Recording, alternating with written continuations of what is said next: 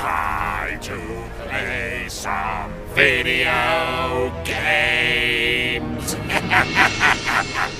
oh, hey, an innocent bystander. Well, we can't have that, can we? Hello, I would like to introduce you to my friend, Mr. Stab. Hey, hold still.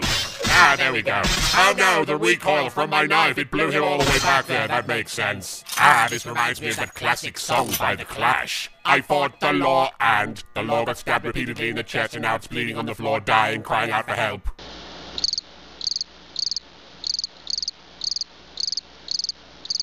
That's how it goes.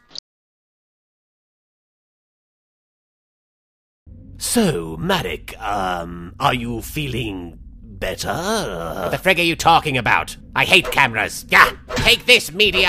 Aha, why do I have this severed hand? I don't even know. Marik, seriously, are you back to normal? Don't know what you're frigging talking about, Bakura. Of course I'm fine. Okay, let me make this simple.